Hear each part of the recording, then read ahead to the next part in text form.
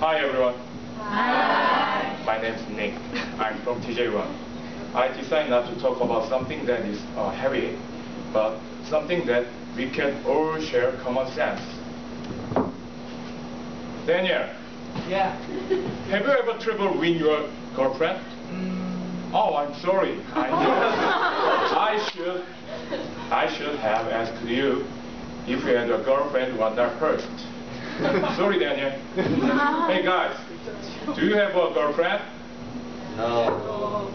What I'm going to talk about is perhaps one of the sensitive issues that every couple faces.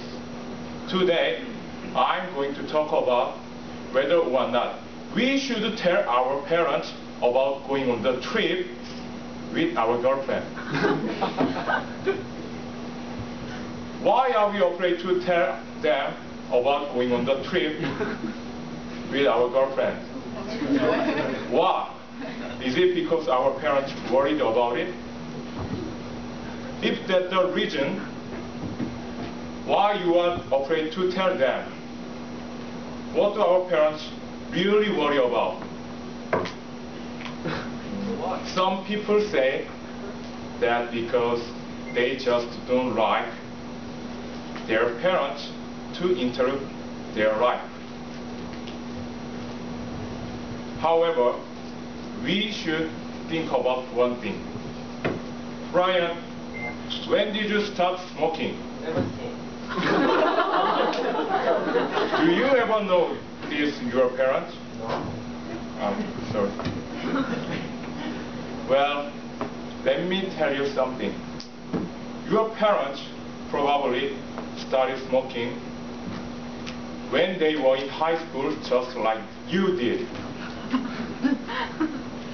Do you know what? Often we find ourselves walking the same path our parents walked.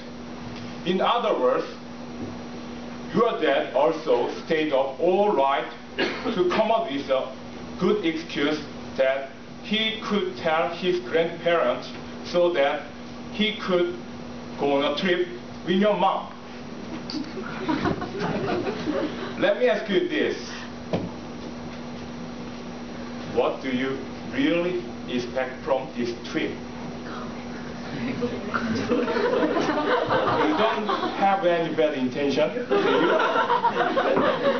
If you don't, just tell the truth to your parents and enjoy the trip.